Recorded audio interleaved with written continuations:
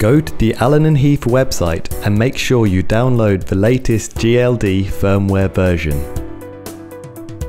Extract the downloaded folder and copy the Allen & Heath GLD folder to the root of the USB. Insert the USB into one of the USB slots. Go to Setup, Utility tab, Firmware tab.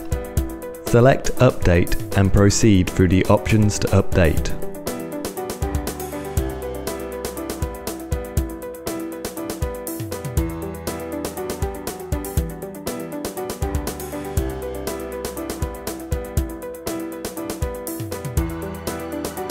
The screen shows the current version on the console and the firmware version on the USB. The green ticks show the USB version is newer and the console should be updated. Do not remove the USB during this process.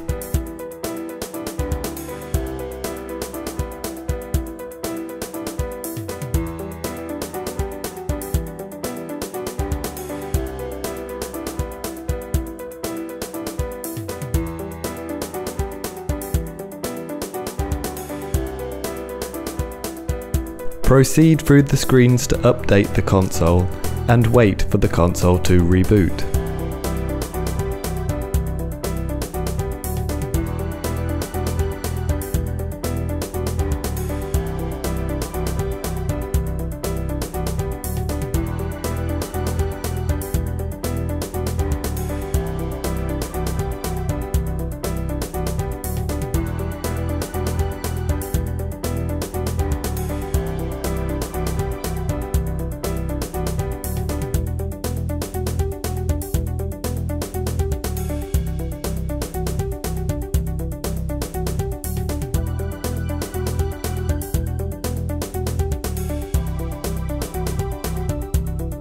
The GLD console is now using the latest firmware.